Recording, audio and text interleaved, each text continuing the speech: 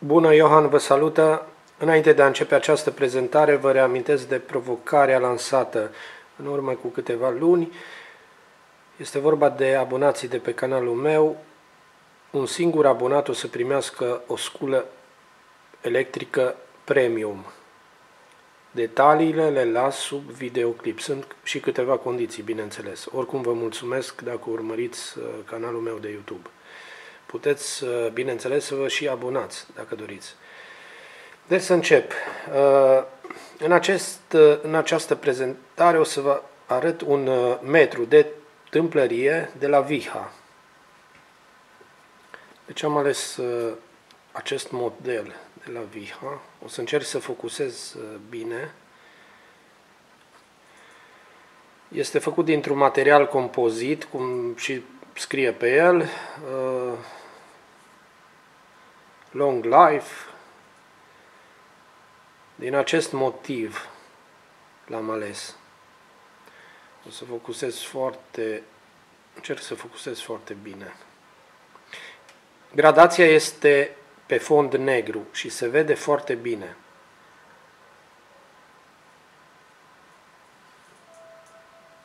Uh, am ales metrul ăsta deoarece mai am o ruletă de la tot așa fond negru și uh, gradația verde în cazul ei și se vede foarte, foarte fain. Pentru mine este un plus. Ăsta se vede bine.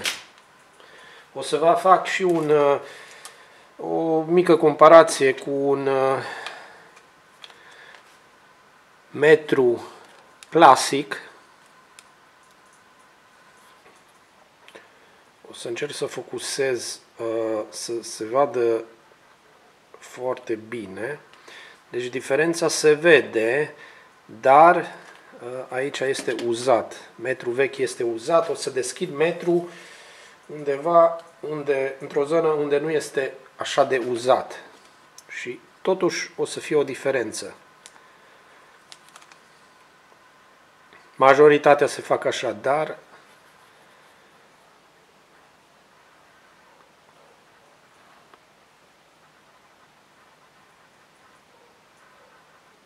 ăsta negru se vede mai bine.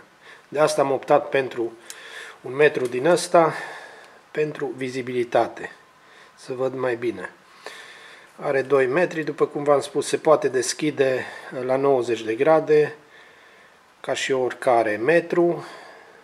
Este foarte fix.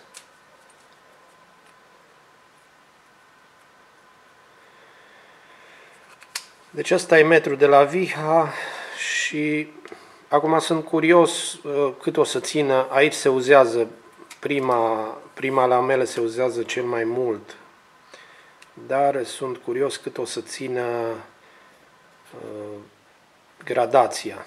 Pentru că se lucrează, este normal, se lucrează și se uzează. Sper că acest videoclip o să vă fie de folos dacă doriți să vă luați un uh, metru de tâmplărie. Nu uitați de acest lucru, calitatea este cea mai bună rețetă. Uh, metru vine într-un într-un uh, într-o mică pungă de plastic ambalată, ambalat. Deci ăsta e metru de la Viha. Ioan vă mulțumește că ați urmărit acest videoclip și vă dorește o zi super faină. Nu uitați de provocare. Numai bine!